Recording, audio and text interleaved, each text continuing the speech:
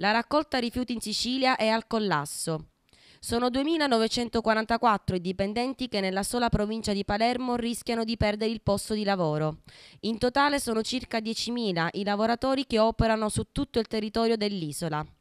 Oggi stanno manifestando davanti la sede del lato 5 Ecologia e Ambiente gli operai di Termini Merese. Emergenza anche per lato 4, dove sono circa 500 i dipendenti della Coinres che da novembre non percepiscono gli stipendi. Anche i lavoratori della Simeto Ambiente di Catania hanno proclamato uno sciopero. I lavoratori sono stanchi di essere presi in giro. I comuni devono trasferire le risorse. La situazione è arrivata al collasso. Eh, I primi che stanno già arrivando al limite sono appunto Ato 4 e Ato 5. Parliamo di Coinres ed Ecologia Ambiente. Sul Coinres abbiamo oh, mancanza di stipendi addirittura in alcuni comuni da novembre per alcuni comuni, mentre sul lato 5 registriamo mancanza di retribuzione a partire da dicembre. Siamo al limite del collasso igienico-sanitario.